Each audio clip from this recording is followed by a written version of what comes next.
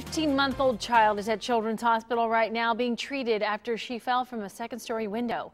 9 on your side reporter Jay Warren is live in Pierce Township where that child fell. Jay.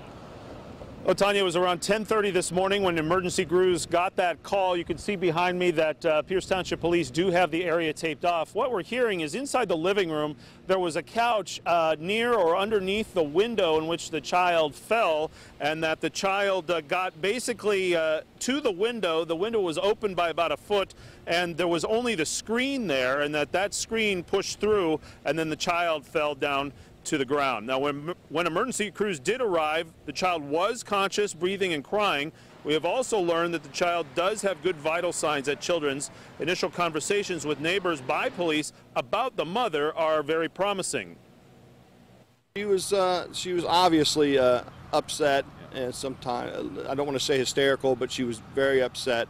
But uh, I asked her a few questions and she did answer them. And uh, we did get some information when I did a, a preliminary uh, canvas of the neighbors that she's uh, a couple of the quotes was an amazing mom, a great mom. So she's obviously very concerned. So again, a 15-month-old little girl fallen from a second-story window taken by air care to Cincinnati Children's, and uh, at last check, good vitals, thankfully. Jay Warren, 9 on your side, Pierce Township.